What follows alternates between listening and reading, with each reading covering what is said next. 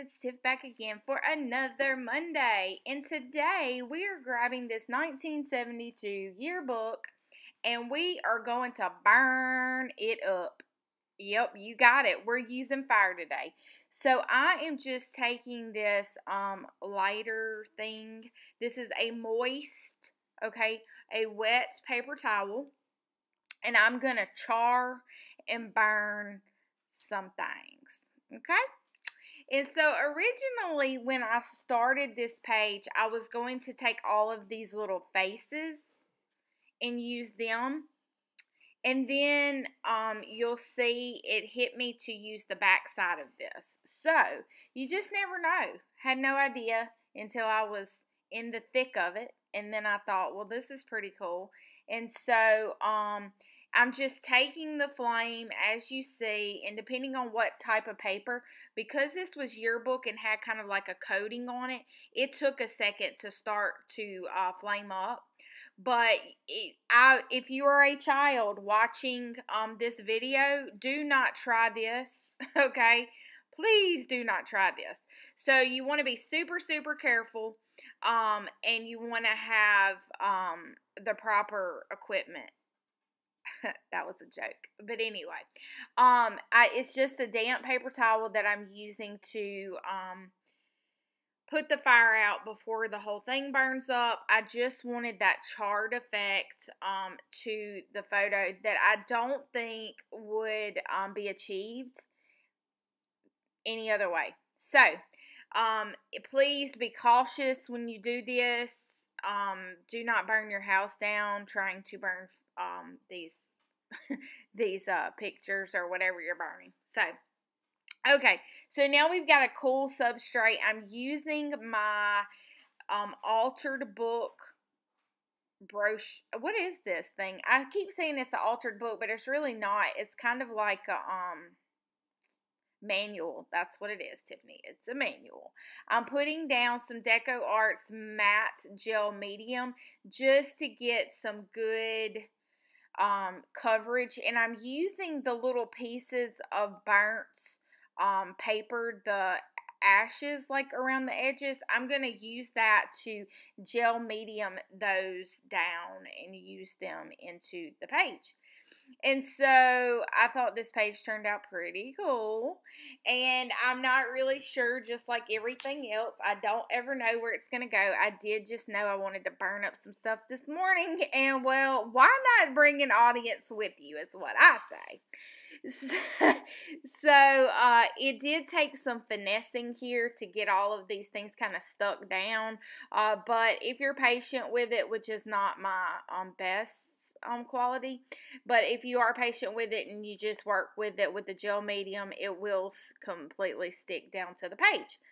And so uh, I did this one day and then I let it dry. I think, no, maybe this was the same day. And I decided to come back with some gesso and just kind of white out some um, of the areas. And like we have this big hole over here to the side. So I was trying to figure out what did I want to do with that. Um, you know, just random thoughts that run through Tiffany's brain. Scary business, people, scary business.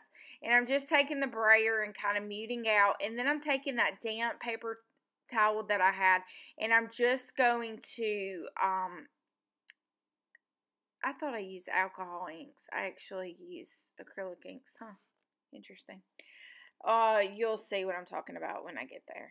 I I did this page over a few days um, because I've been busy with work and I forgot what I used. So I wrote the wrong thing on the recipe. But anyway, that's not here nor there. So um, I'm going in here with some um, chalk paints and at the end, you're that's not really going to be a big deal because – you could get the same effect without the chalk paint. And I actually forgot that I used that too. Huh, I got to do better.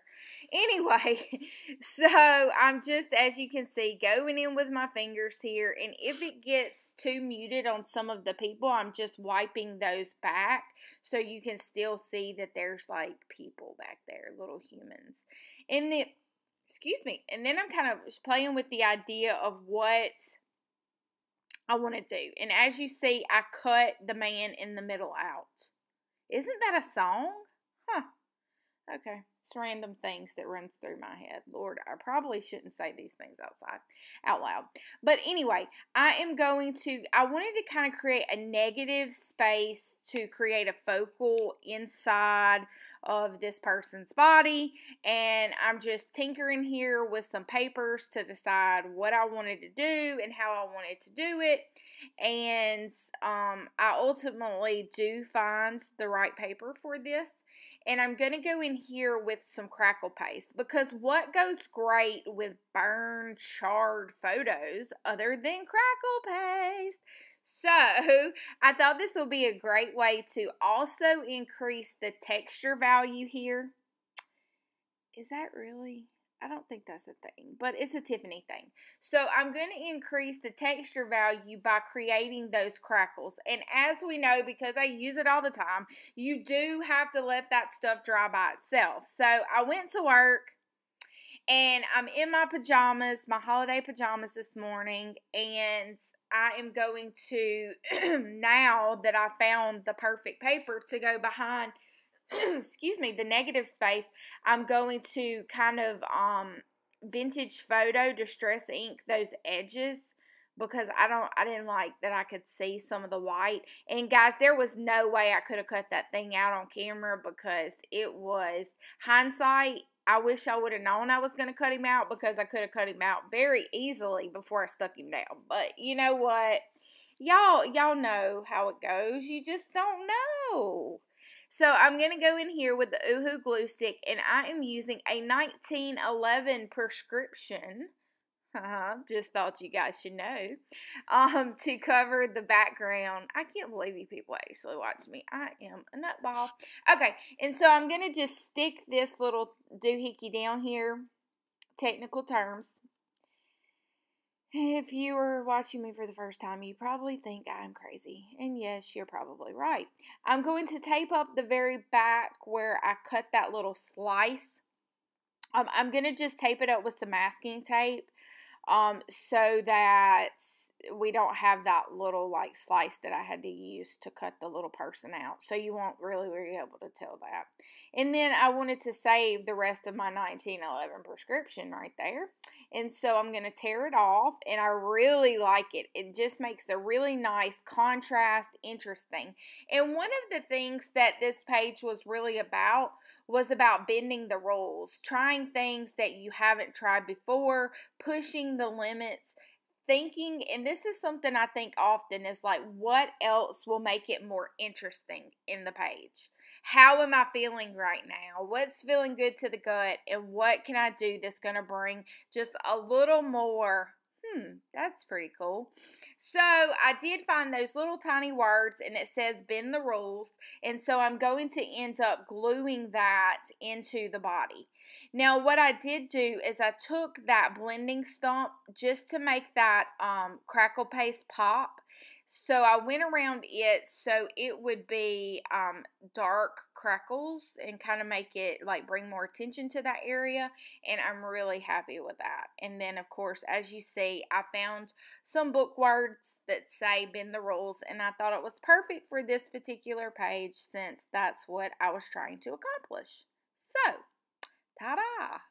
And now I am going to show you guys, I think I'm going to zoom in I'm going to go over it with graphite a little bit so that it just pops just a little bit more.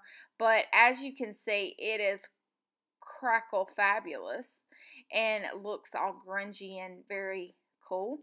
And so I really enjoy making this page. But as you know, because this is our Monday journal, we have to go and write our recipe. And well, this is where Tiffany forgot because I did this over a course of a few days and I kind of forgot what I used. So, forgive me, but I'm going to call that acrylic um, fluid ink that we put on that like, um, what was it? It was kind of like a nickel gold color, but that's not the color we used. Um, I thought it was alcohol inks. So bear with me, folks. You know, I am human. I do from time to time make a mistake. So yearbook photo burned. Check. Create a negative focal by cutting the little person out. And then I wrote alcohol wrong. I'm like, I think I'm missing an O here. And it really even wasn't alcohol inks at all. It was uh, fluid uh, acrylic ink. So, oh well. And then um, add the crackle paste and you guys got the rest. Thanks so much for joining me. Make sure you click the subscribe button, leave me a comment, and go find your girl over on Instagram. Until next time, toodaloo.